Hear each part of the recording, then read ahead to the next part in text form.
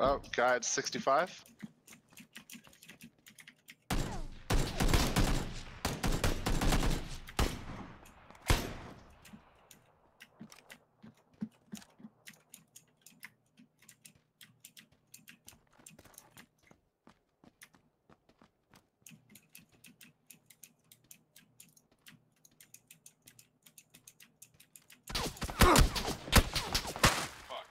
Where's he at? Up uh, one one ten at the shack up there.